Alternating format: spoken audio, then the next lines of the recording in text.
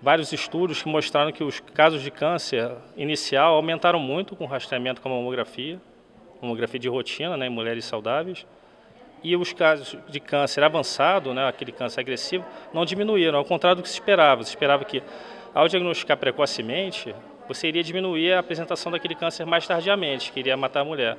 Isso, infelizmente, não aconteceu numa minoria muito pequena dos casos. Na maior parte dos casos, houve um aumento de câncer que nunca teriam aparecido se você não tivesse feito aquele exame procurado aquele câncer ativamente, sem que a mulher tivesse nenhum sintoma.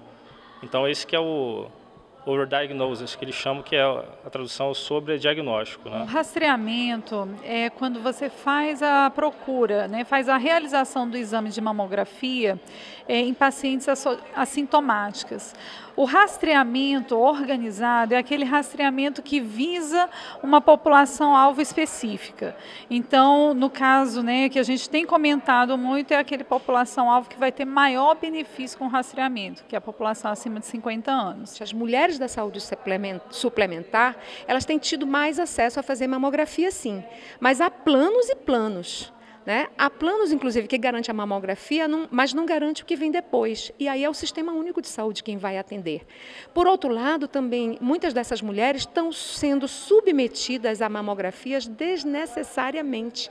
Enquanto a gente discute acesso para que pelo menos tenha a mamografia, na saúde suplementar está fazendo fora da faixa etária preconizada pelo Ministério da Saúde, que é a partir de 50, de 50 a 69 anos, que é a faixa prioritária. Então, na saúde suplementar, ela está fazendo antes, está fazendo anualmente, quando não é, se ela tem um exame negativo, é para fazer de dois em dois anos, isso não está sendo respeitado. Então, de uma certa forma, elas têm acesso, mas elas também, isso está sendo, vamos dizer assim, não é um fator de protetor, é um fator de exposição a raios e isso é preciso ser cuidado. A, a, mensagem que a gente quer passar é que, na verdade, as mulheres precisam fazer rastreamento.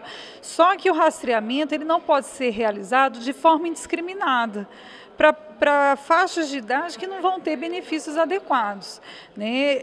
Eu, como representante da, de uma entidade médica, que é a Sociedade Brasileira de Mastologia, recomenda a, o rastreamento a partir dos 40 anos, porque existem dados que mostram que existe algum ganho nessa população em diminuição de mortalidade.